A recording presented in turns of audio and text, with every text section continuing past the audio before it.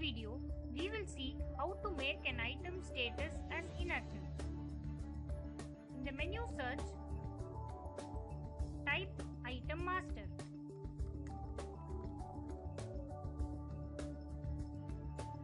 Choose item master and click enter.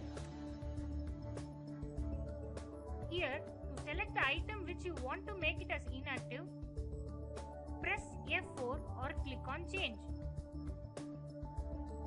Item which you want to make it as inactive.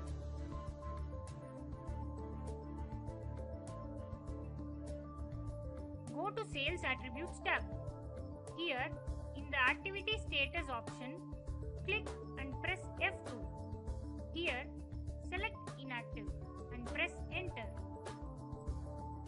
Now, click on Save or F6 option. We have made this item status as inactive, meaning which it will not be shown in any of the transaction screen, be it sales or purchase as the item status has been made inactive. Also, you can make the status as